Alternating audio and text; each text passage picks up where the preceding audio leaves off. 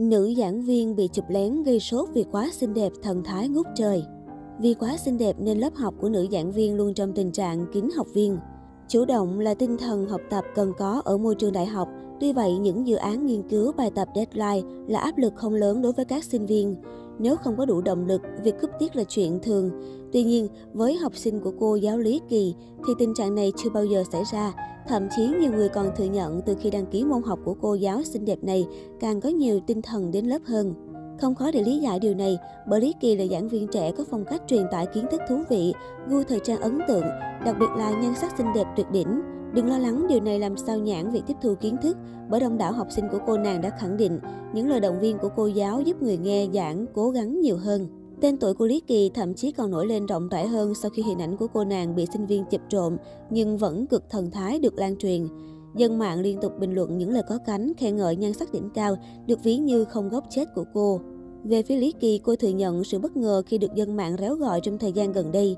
Tuy nhiên, nữ giảng viên xinh đẹp cũng nghiêm khắc hy vọng các bạn học viên hãy tập trung cố gắng học hành nhiều hơn là việc ngồi chụp trộm như thế này. Trước đây, dân mạng cũng từng không ít fan trầm trồ bởi những nữ giảng viên tài sắc vẹn toàn. Phạm Thị Hồng Ngọc sinh năm 1996 có nickname là Tiêu Ngọc. Cô giáo trẻ không chỉ nổi tiếng trong trường mà còn là gương mặt hot trên mạng xã hội khi sở hữu gần 700.000 lượt theo dõi. Ngọc sở hữu gương mặt khả ái và chiều cao nổi bật. Nữ giáo viên chia sẻ rằng, chính niềm đam mê mãnh liệt với toán học đã khiến cô có quyết tâm theo đuổi môi trường sư phạm và trở thành giáo viên dạy toán. Hiện cô đang giảng dạy môn toán tại Cao đẳng nghề Công nghệ cao Hà Nội. Được biết, trước khi trở thành giảng viên, cô Ngọc từng là hoa khôi thanh lịch trường Đại học Sư phạm Hà Nội, top 20 nữ sinh viên Việt Nam duyên dáng năm 2016. Nguyễn Phương Mai là giảng viên Viện Quản trị Kinh doanh Đại học Kinh tế Quốc dân. Trái ngược với bề ngoài nhỏ nhắn, Phương Mai sở hữu những thành tích đồ sộ. Cô từng giành giải nhì học sinh giỏi quốc gia môn tiếng Anh, tốt nghiệp cử nhân đại học Colorado State University, loại ưu, từng có mặt trong Dean List, nữ giảng viên từng trúng tuyển học thạc sĩ của Đại học Northern Boston, Mỹ, nhưng sau đó quyết định sang Anh Quốc để học thạc sĩ vì muốn khám phá một đất nước, một nền văn hóa mới. Ngoài sự nghiêm khắc khi lên giảng đường, Phương Mai được nhiều sinh viên yêu mến bởi ngoại hình xinh đẹp từ các diễn viên Hàn Quốc và phong cách thời trang trẻ trung sành điệu.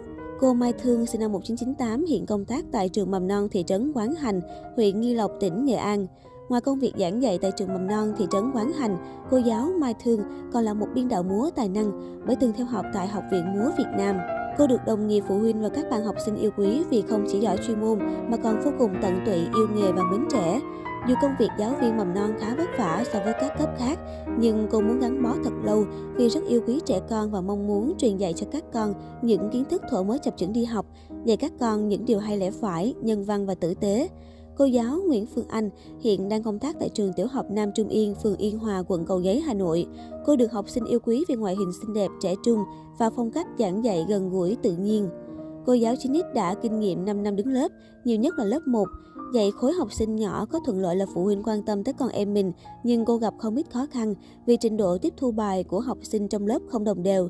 Để học sinh tập trung vào bài giảng, cô Phương Anh thường lên ý tưởng phong phú đa dạng, kết hợp giữa học và chơi.